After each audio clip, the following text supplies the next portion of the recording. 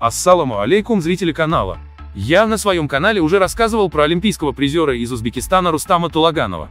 Вчера Рустам Тулаганов провел свой четвертый поединок в профессиональном ринге. Против узбекского боксера на ринг вышел крепкий колумбиец, Бейби Баракал. Рустам Тулаганов всего за три поединка вошел в топ-15 рейтинга по версии WBA. Он даже еще не освоил полностью навыки профессионального ринга. Однако, очень быстро приближается к чемпионскому титулу.